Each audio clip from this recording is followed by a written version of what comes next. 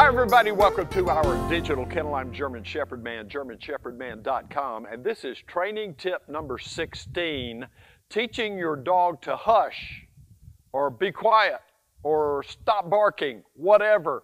This is what my mom used when she taught me as a little, little guy. She said, Hush!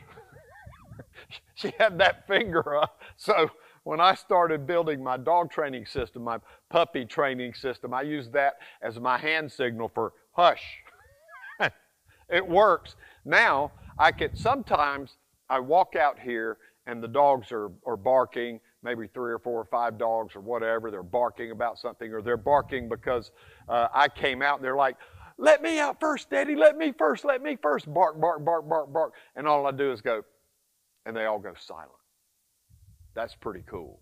But it starts somewhere. You don't get there just overnight. So in my puppy training system, that's a part of it. How do you teach your dog to hush? Okay, so he's not bark. This is this is major. Major, right here. No, sir. Uh, good boy, Major. He gets the uh uh uh. No, right here. Right here. Good boy. Good boy, Major. Right here. Good boy. He brought this pine cone to me a little while ago, and I thought, well, we'll just use this. So notice he's hit the right here position, and uh, the, the same way that I taught him right here is the same way that I taught him to hush. So, get now when you're sorry, Jay, threw you a curveball, didn't I? So when you're teach when I teach hush, the dog has to be barking. Now, when you get a little puppy, a lot of times they can be barky. They can have, they can be vocal. They can have a lot, a lot of mouthing that they want to do to communicate, and they'll bark. For instance, you have a, a toy like that. Major drop. Excuse me.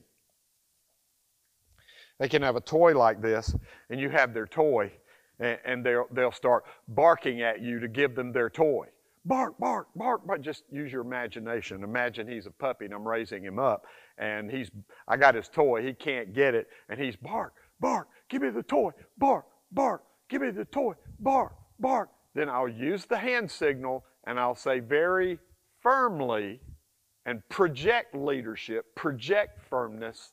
Major, hush. And as soon as he gets quiet, your little puppy, as soon as he gets quiet, good boy, that's a good boy. Hush, get your toy. Give them the toy, give them what they want. It's real simple. So if you have a dog and they're barking, you got to do it when they're barking. Have a dog when they're barking, and you use the hand signal, hush. And they may keep barking. Ah! That, that, that's the corrective vocalization. Hush. Tell them hush again. And as soon as they quit barking, come on, Major. Good boy. Hush. Good boy, Major. Hush. That's a good boy. Hush. Good boy, Major. That's the good behavior marker. It's pretty simple. So, I had a lot of people say, how, how do you teach how do you teach your dog to quit barking? Major. How do you so drop. He's taking this over to Jay for Jay to throw it for. And Jay's like, get away, get away. Don't be bumping my camera, bruh.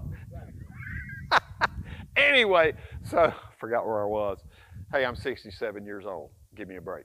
So uh, when your puppy's barking and you tell them to hush and they don't stop barking, ah!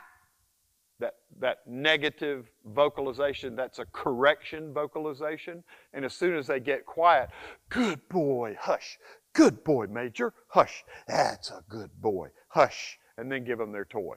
Uh, so it, it's really simple, and it's a part of my, again, my puppy training system that is so simple. Major, right here. Uh, I'm just going to walk around with him just a little bit, Jay, if that's okay. Now, when I start with my left foot, this doesn't have anything to do with hush, but all of this system works together. When I start with my left foot, he goes with me.